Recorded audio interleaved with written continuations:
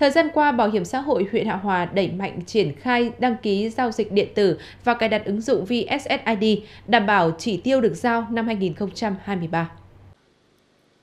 Đến ngày 30 tháng 9 năm 2023, toàn huyện Hạ Hòa có trên 29.000 người tham gia bảo hiểm xã hội, bảo hiểm y tế, bảo hiểm thất nghiệp, cài đặt đăng ký và sử dụng ứng dụng VSSID, bảo hiểm xã hội số, chiếm 33% số người tham gia. 95% số người cài đặt ứng dụng VSSID được đồng bộ với cơ sở dữ liệu quốc gia về dân cư. Hiện tại đang tiếp tục bổ sung và đồng bộ các dữ liệu từ nhiều nguồn khác nhau để người dân tham gia bảo hiểm y tế có thể sử dụng căn cước công dân có gắn chip hoặc ứng dụng VSSID đi khám chữa bệnh, thay thế cho thẻ bảo hiểm y tế bằng giấy.